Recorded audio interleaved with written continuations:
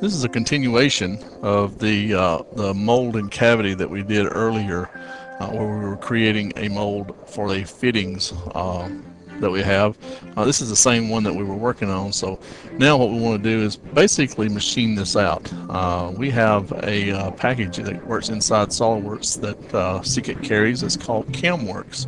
And we're simply going to go in. It works inside of SOLIDWORKS. So we're going to go into our add-ins and we're going to go down and tell it that we want to turn on CAMWorks 2010 and CAMWorks 2010 utilities and click OK. Now it takes just for a second for it to kick in. You see that the logo pops up and we actually have two different tabs now at the top of our feature manager. So if we go to that CAMWorks tab, uh, it automatically starts off with a stock manager, an example million, which we can go in there and change and customize accordingly uh, and uh, configurations. Well, this particular configuration is the 31300 that we've got, so we're going to leave that like it is. But what we have to do now is we have to mill this part. So let's get started. The first thing we have to do is we have to insert a mill part setup. We've got to know where our z-axis is and which direction we're going to go. Uh, right now you see that that z-axis is set at the front plane. Well, we, we actually want it to be set here at the top. So we want to start uh, milling this at the top of this face here. So to click OK to, uh, uh, to accept that. The next thing we're going to do is we're going to try to uh, use our CAMWorks toolbar and see whether or not it extracts any machinable features. Now this extracts most holes, most uh, pockets and things, but in this case uh, we're going to try it here. Let's see what happens. It looks like it's trying, but it did not find anything that it recognized. This is kind of an odd shape, but like I said, in most cases it finds most pockets and most holes and uh, that kind of thing. So it's usually pretty uh, thorough. So let's uh, let's go back. Let's add that uh, part setup in there again. It went away. And this time let's go in there and let's uh, let's add a multi-surface feature.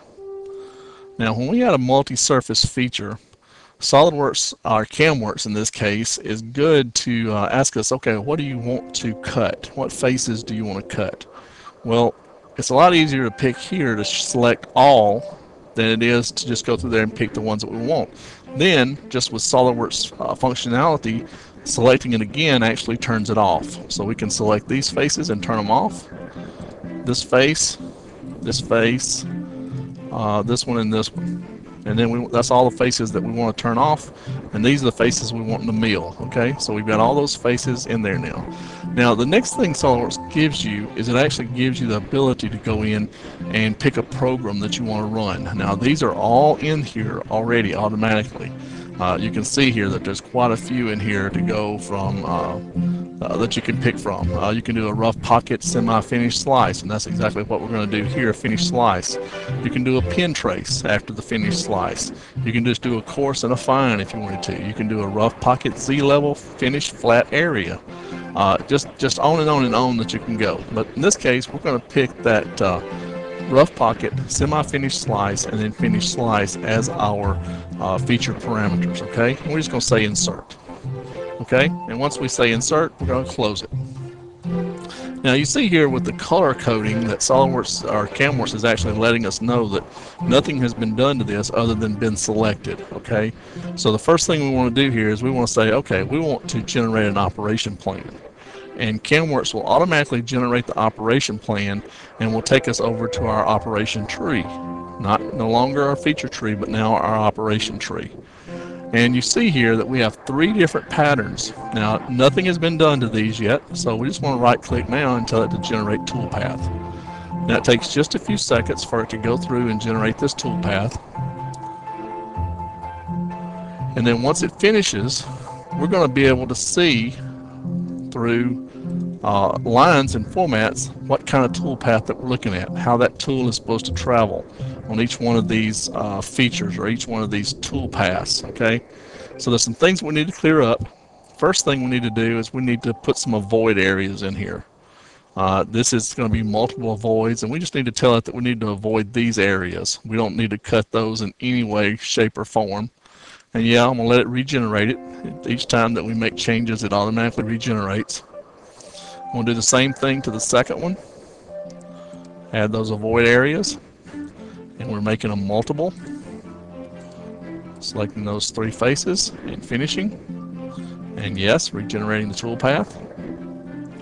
And then one last time, right clicking, inserting those avoid areas and multiple, one, two, and three, and finish. And yes, regenerate the toolpath. So now once we finish this, we should be able to get a clearer picture of how this toolpath is going to proceed. Now, I don't like the spiral in uh, approach, so I want to go into this and I want to edit that definition. Okay, and I'm going to take this uh, open operation parameters and I'm going to go into my uh, entry retract. Uh, actually, I'm going to go into I'm going to go into my entry retract and I'm going to tell it instead of a spiral, I want it to ramp in. Okay, and yeah, uh, 0.1 inch, uh, 2 degrees, that's fine. That's fine. Click OK to accept that. And yes, I've got to redo it again. Let it go through that process. And then we take a look at it again, and it looks much better than it did before. Okay, so we're looking at the next one. It looks very good.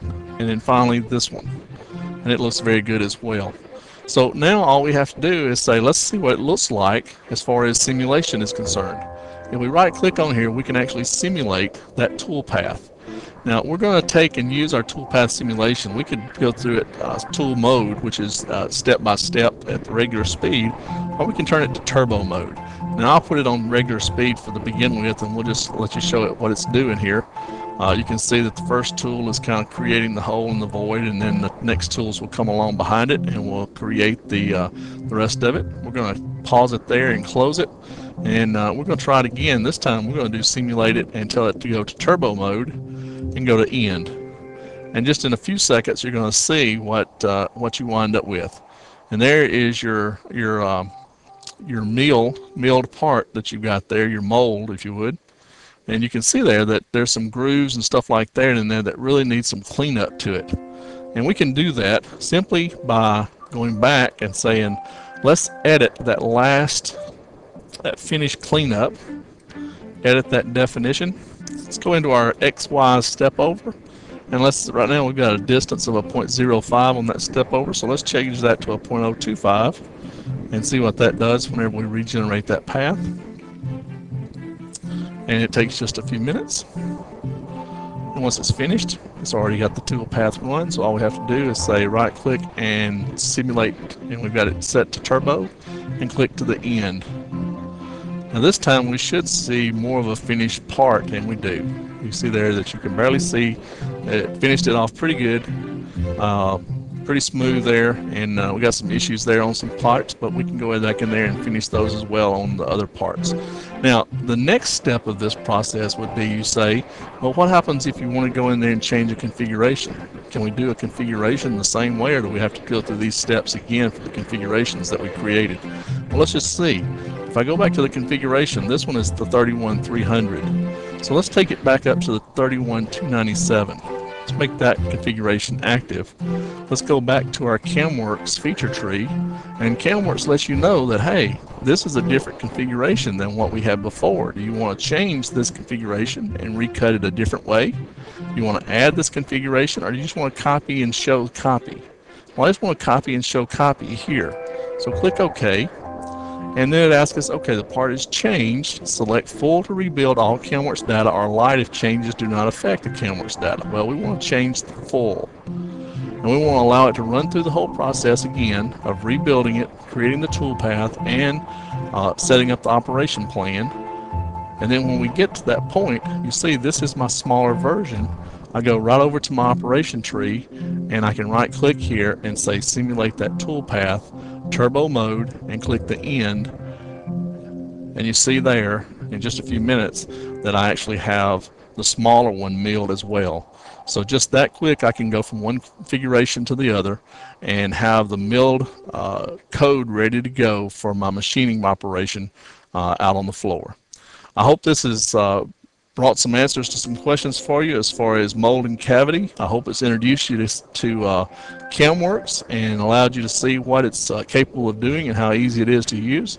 Uh, if you have any questions, you can contact us at 501 835-6868. Or you can go and visit us on the website at www.secantech.com. That's S-E-C-A-N-T-T-E-C-H